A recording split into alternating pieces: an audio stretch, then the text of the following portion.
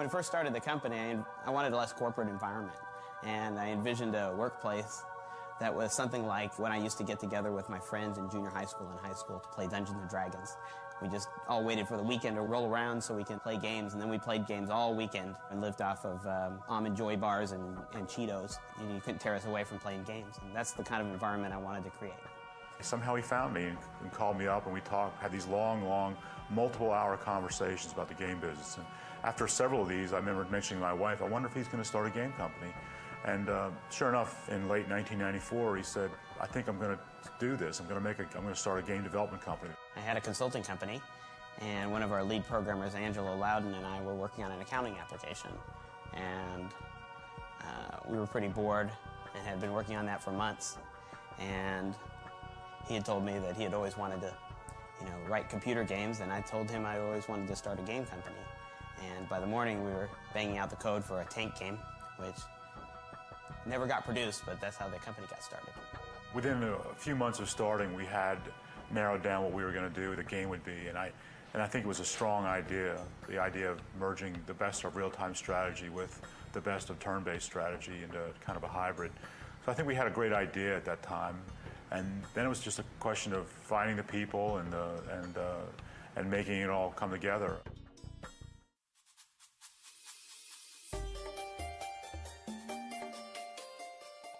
In the original Age of Empires, we included a learning campaign based on the Egyptian rise to power. It was more or less just an easier campaign, and we tried not to overwhelm the player too much. As we moved into Age of Kings, we realized we needed to really take a step back and actually teach players how to work the interface, how to move units around the screen, how to upgrade technologies, how to fight the enemy.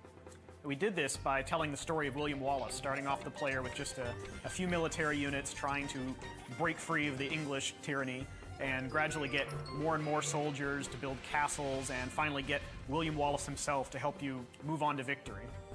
Our goal was never to let the player think that he was being taught, but to have a fun experience and learn how to play the game while they were doing it. When we do the artificial intelligence for the maps, for the computer player to play against the humans, we have to, we have two things we need to balance. First is obviously we have to game the game must be challenging for even the best players.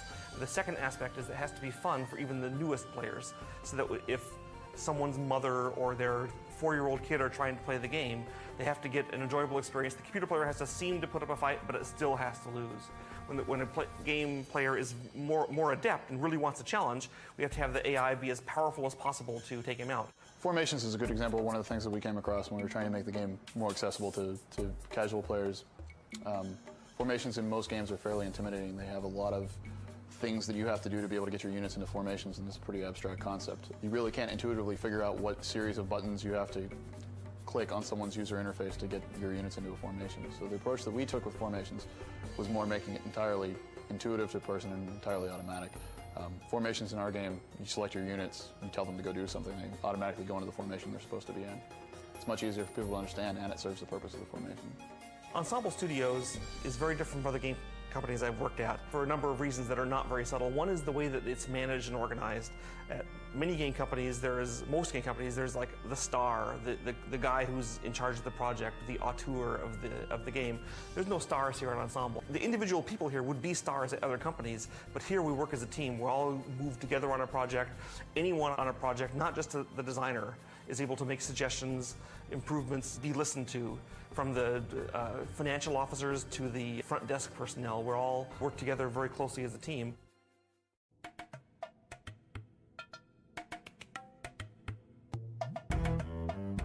One of the things that people think of when they think about games is they think about the fun that goes into the game, getting the game in the box and out on the shelf for people to start playing.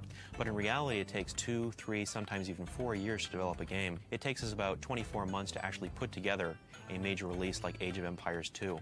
We had a lot of people work on Age 2, uh, upwards of 40 people, I think, at one point.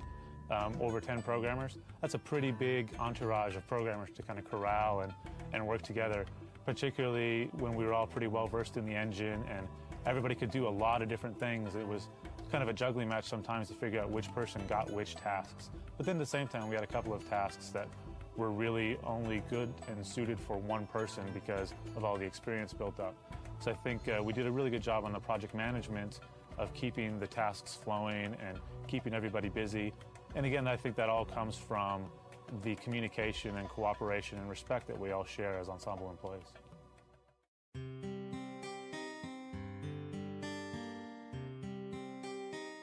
Uh, look, if a game is decided by many people, it's owned by many people. It's not just one person, although uh, one person can bring up the initial thoughts of what a game is to look like. So, initial sketches are done, a lot of brainstorming, a lot of gathering of reference.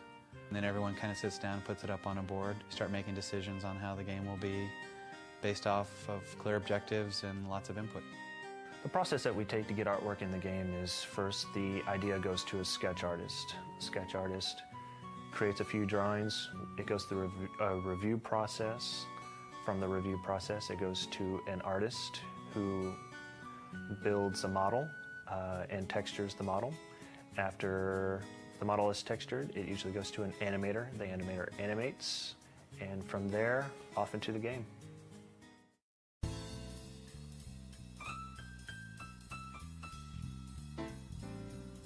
We try to make the music act as a mood setter more than a focal point in the game. Uh, we feel that it's secondary to the sound effects. The sound effects give you a lot of information as to what's going on, and we try to complement that rather than overpower it. Traditionally, we use a lot of synthesizers and samplers to achieve our sound, but more recently we've started involving a lot of acoustic type instruments, bringing in as much percussion as we can find. Whenever we're out at a store, doesn't matter if it's on an official trip or not, we find things, we bring them in. We might not even know how to use them, but that doesn't matter. As long as we can make interesting sounds with them, they, they serve a, a purpose. To me, the best compliment is when someone says that they've put our game CD in their car to listen to the music. Uh, so while we try to keep it as a background thing, as more of a mood setter in the game, it's great that people feel like they can take it away and, and listen to it on its own.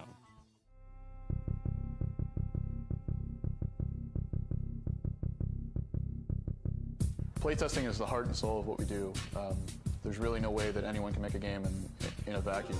And at least our experience has been that, that the more iterations of the game that you can get out there, the better a game you're going to have as an end result.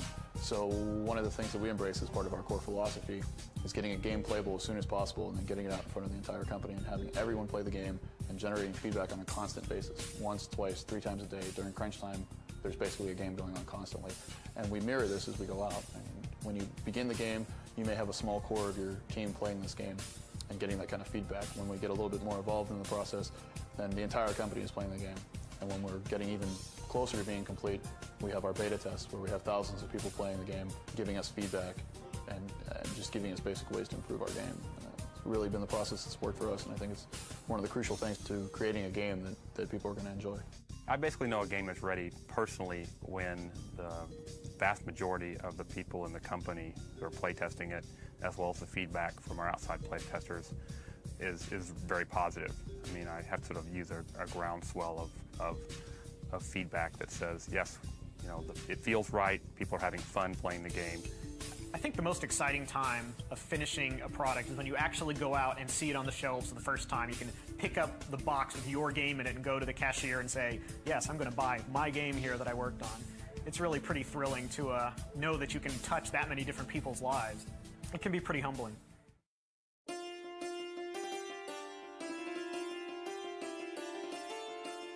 difference between Ensemble Studios and other game companies that I've worked for has been profits for one, and profits means that you can spend money on nice equipment and beautiful offices, and you have R&D budgets, and you have uh, the best equipment.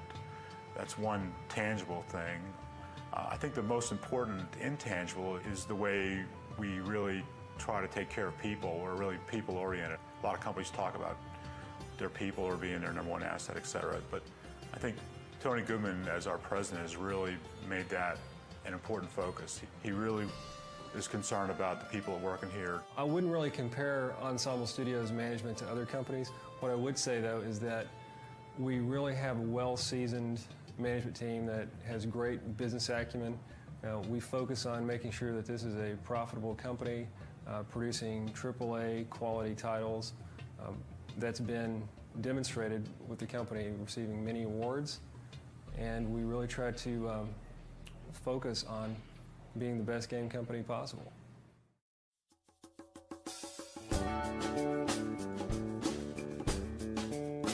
Where is the future for Ensemble Studios is an interesting question.